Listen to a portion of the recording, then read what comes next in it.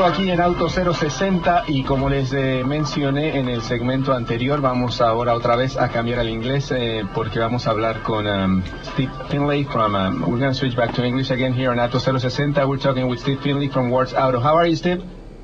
Well, thank you. Thank you. Uh, so as I was mentioning in introduction from uh, in the last segment, um, Wards uh, Autos comes with this really, really cool and very informative uh, um, studies about the auto industry. And th- this new one, I don't know if this is the first time you've done it or the first time I've seen it, but uh, talking about the e-dealers, so like dealers who are in- uh, using internet more and more to reach out to customers. Is this the first one or it's been done uh, before? Actually, it's the 13th. Wow. Um, and Wh- we where I was, it- where was I?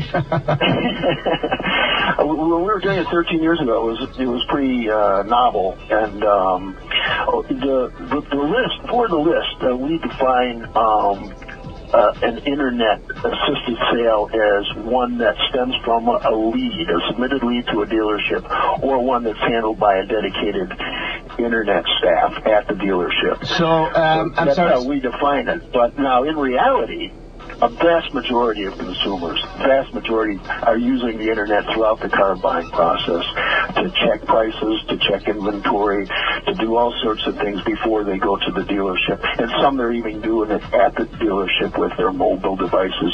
So that, we define it as a, a submitted lead for purposes of being on the list.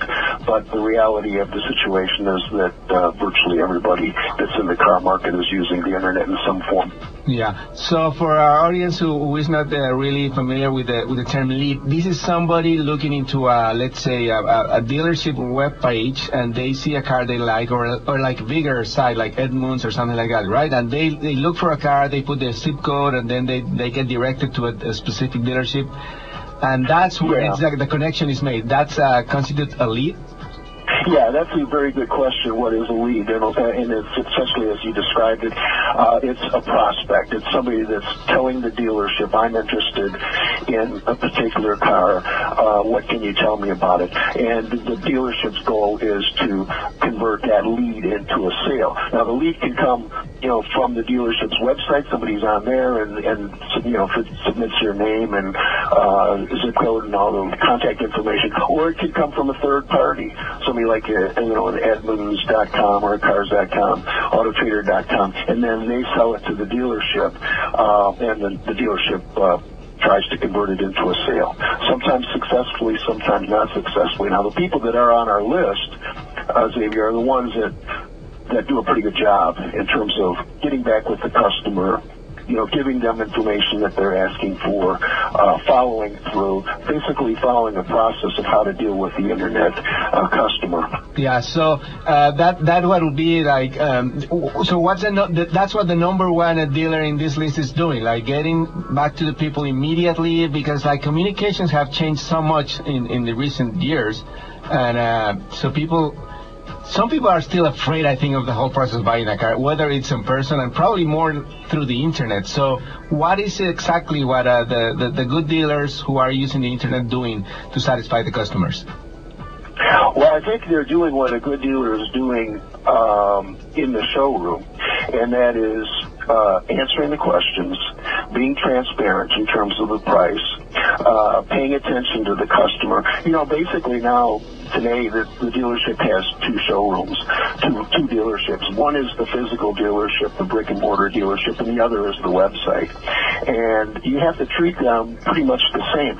Uh, where a lot of uh, dealers who aren't on the list have problems is they don't look at uh, some internet lead as being a real lead. It's They- not. they- they like don't take it very seriously, you mean? They don't take it seriously, right? And they're slow getting back, if they get back at all, and they basically bobble the lead uh, because that person is not in front of them. And what the experts say is a, a dealer wouldn't tolerate uh, a salesperson ignoring a customer who walks into the store. That just is unacceptable behavior, and it should be unacceptable behavior to to not get back with an internet lead in, in time. It used to be 24 hours was the benchmark. Now it's 30 minutes. Yeah. You know, people there, you know, looking in, that are in the car business and submitting leads online, they, they want an immediate response. So, uh, getting back to the customer, number one, and then taking it from there with relevant information and follow up and stuff like that. And if you do that, you can sell a lot of cars. Yeah. If you don't do that, you might as well not bother even trying to get into the game of uh, being an e-dealer. Yeah. So, and, and, from the other end of the spectrum, do you have any recommendations for people looking for cars in the internet? How what what they should do? I re- I read recently that the average uh, number of, of, websites and and, and pages that the people looking to before going to a dealership is like something like 18, which is like a lot, I think. So, do you have any recommendations for people looking in the internet and then uh, going to the dealership? Yeah, well, that 18 would be 18 different websites, and not, necess- not necessarily all dealer websites. It could be third-party websites. Yeah. It could be social media websites. People really are into social networking. They're looking at what other people are saying about reviewing cars. I would recommend that to, you know, basically look at uh, what uh, your Facebook or other uh, uh, you know connections online are saying about a car that, that whether they're recommending it or not, whether they're recommending a dealership or not. The internet is a good place to get pricing information. Um, you know, in in the old days, you used to have to drive around dealership to dealership and uh, try to pry a price out of them and then make these comparisons. Now you don't have to do that. You go online and you can go around and then there are all sorts of different sites uh, that uh, will tell you, you know, uh, what a pretty good price is. What they'll even say what the dealer's invoice price is. Uh, so, you know, just be an educated, uh, informed con- uh, consumer, and then when you go to the dealership, be professional about it. They're going to hopefully treat you professionally, and you have to treat them professionally too, which means not trying to slam them and you know, uh, customers. There are some customers that can abuse the internet by playing dealers off each other, and that's you know, to a certain extent, that's negotiations, and to some extent, it's just wasting everybody's time and not doing business with, in a bona fide way. So there is a way to do it effectively, uh, but use the internet to your advantage yeah. as a consumer. Yeah, we're talking with Steve Finlay from Wards Auto, uh, talking about the eDealer 100 report, uh, talking about the dealerships who are doing the best job uh, connecting with customers uh, through the internet. And going through the report, I see the, the number one dealer is Chapman Automotive Group um, in Chandler, Arizona. Still, the number of sales is not that well, I don't know if it's not much or not. 8,616 cars, new cars, and then 6,684 used cars, so for a total of 15,300. Um, and I, I, assume this is not all the sales they're doing, but this is pretty good number for them again.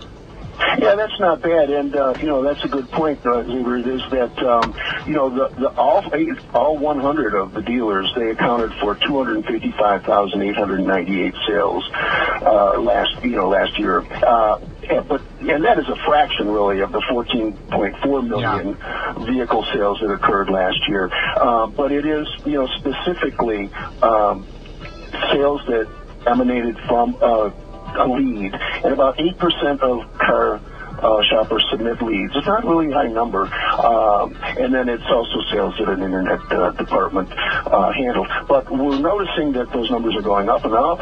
Generation Y is, you know, totally plugged into this. So um, just, you know, in handling the new wave of customers as they, the young people enter the market, you got to be connecting with them online uh, or else Absolutely. You're, and, and, and, doing business well. Yeah, and as we were saying, people have much more information available to them now. But at the end is uh, the people, the like the, the real person who is doing the uh, the the sell. I, I read a report this week also about, about a saleswoman in Detroit area for Ford who herself sold about 5,000 cars on, uh, through a year. That's almost as many as this uh, dealership, the number one dealership sold through the internet, which is pretty amazing. So at the end is the the personal connection that you have to do, but. Um, Absolutely, the, the internet is not going to do the sales job for you. That's that still is a very human factor. You're absolutely right. Yeah. So, uh, and that goes for both sides, as we were saying, right? Like the consumer has to be very diligent and, and like look, looking for they really want, be realistic, and like.